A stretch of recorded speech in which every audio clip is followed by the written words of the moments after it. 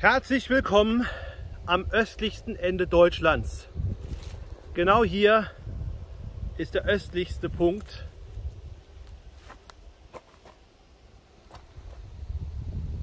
Deutschlands. Hinter mir weite Felder und vor mir das Zipfelbuch.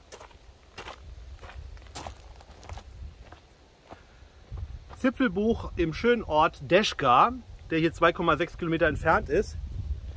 Und das Zipfelbuch am östlichsten Punkt Deutschlands hält wahrscheinlich einige Erkenntnisse für uns parat. Schauen wir mal.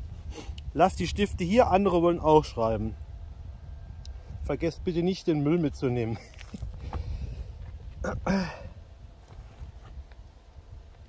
Zeitungsartikel aus der Sächsischen Zeitung. Zehntes Zipfel-Gästebuch östlicher Punkt. Ah, es hat schon Vorgeschichte hier. Quizfragen.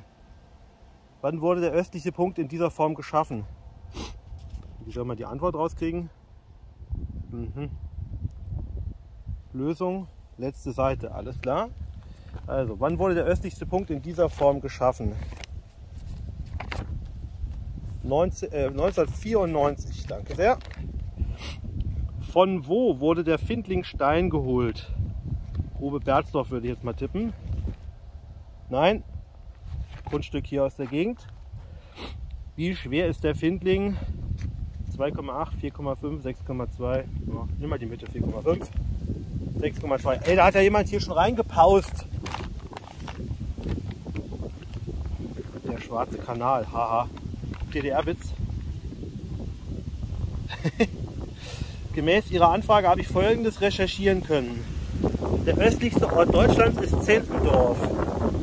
Der Karte habe ich die geografischen Koordinaten entnommen. Die Sekunde ist interpoliert. Geografische Breite 51, 16, 40, 14 nördlicher Breite.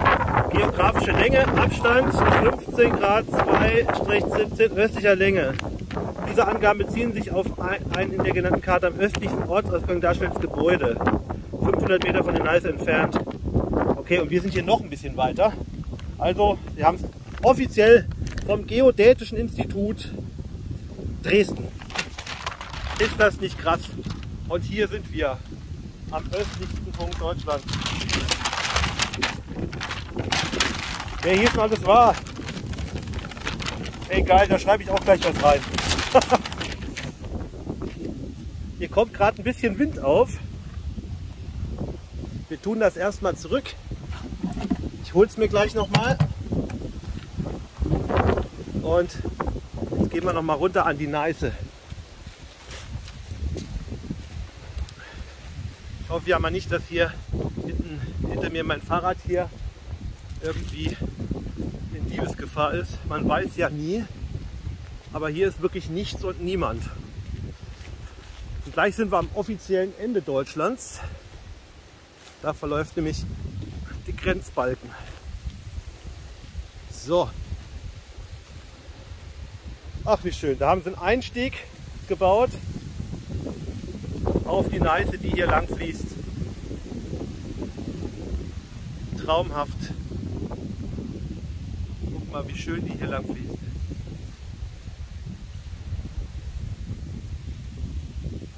So, und ein Steinwurf entfernt Polen. Auf der anderen Seite. Gut.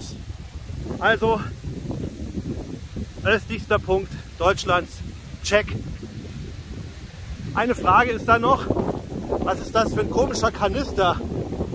Boah, jetzt kommt aber hier ein ganz schöner Sturm auf. Ich glaube, ich muss mal zu meinem Campingplatz, wenn ich noch ein Zelt aufbauen möchte, was seht. Also dieser Kanister hier, der wirft mir noch so eine Frage auf. Ist das Restmüll aus dem Kalten Krieg, eine Toilette oder Kunstwerk? Steht ja sogar PC am Baum. Okay, kann man hier in die Natur entleeren. Was ist das hier? Nein, wie geil. Da kann man drin sitzen. Wie geil ist denn das?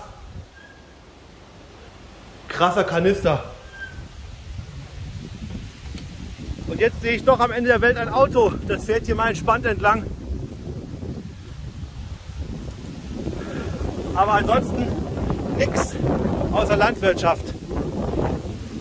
Dem Zipfelbuch und dem Sturmauffangbehälter. Vielleicht setze ich mich da zum Schreiben gleich rein. So, also ich sage Tschüss vom östlichsten Teil Deutschlands und radle gleich den Oder-Nein-Weg weiter. Aber vorher schreibe ich noch was ins Zipfelbuch.